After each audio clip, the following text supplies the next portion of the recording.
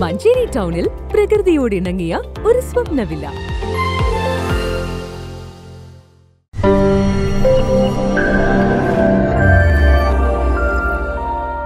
മഞ്ചേരിയിൽ L D F സ്ഥാനാർത്ഥി വസീഫിനെ ബൂത്തിന് സമീപം തടഞ്ഞുവെച്ച് കയ്യേറ്റം ചെയ്യാൻ ശ്രമിച്ചതായി പരാതി.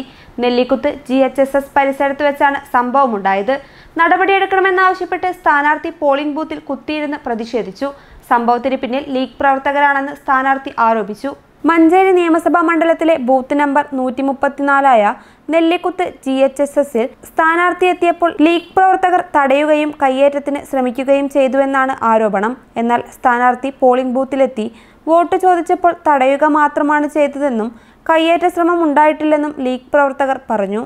ഇതേ തുടർന്ന് വസീഫ് ബൂത്തിൽ കുത്തിയിരുന്ന് പ്രതിഷേധിക്കുകയും പോലീസ് വേണ്ട നടപടികൾ സ്വീകരിക്കുമെന്ന് ഉറപ്പു നൽകിയതിന്റെ അടിസ്ഥാനത്തിൽ പ്രതിഷേധം അവസാനിപ്പിക്കുകയുമായിരുന്നു. സ്ഥാനാർത്ഥിക്ക് ബൂത്ത് സന്ദർശിക്കാനുള്ള സ്വാതന്ത്ര്യമുണ്ടെന്നും ചിലയിടങ്ങളിൽ ലീഗ് പ്രവർത്തകർ ഗുണ്ടായിസം കാണിക്കുകയാണെന്നും വസീഫ് പറഞ്ഞു. News bureau Manjeri.